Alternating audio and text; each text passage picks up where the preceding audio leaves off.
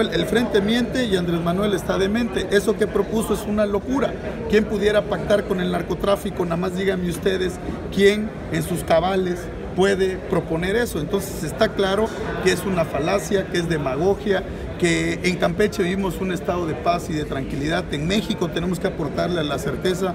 Por eso se los digo, a los ciudadanos se los digo, pensemos en nuestras familias, pensemos en la seriedad y en la responsabilidad de gobernar este país.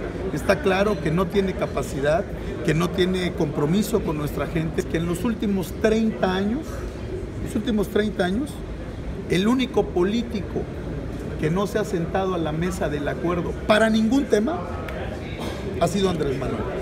Se ha sentado el PAN, el PRD, el PT, todos los partidos nos hemos sentado en algún momento para construir por México. ¿Sería un retroceso Jamás, jamás, jamás se ha sentado a una mesa. Pero más aún, vivimos los terremotos el 7 y el 19 de septiembre.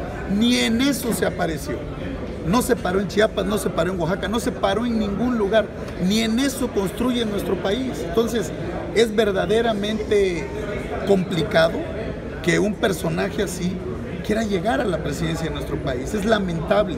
Entonces yo siempre haré un llamado a la responsabilidad, al compromiso y estoy convencido que el pueblo de México es un pueblo inteligente. Por eso siempre lo he dicho, es el campeón mundial de las encuestas y siempre pierde. Nosotros tenemos que garantizar la seguridad de nuestras familias. Nosotros tenemos que cuidar y proteger a los que, a los que son o a los que pueden ser víctimas. Ahora resulta que vamos a proteger a los victimarios, pues eso es, es algo fuera de lugar, es algo que está eh, fuera de toda realidad y por eso yo estoy convencido, estoy contento, a Campeche le viene muy bien, estamos trabajando fuerte.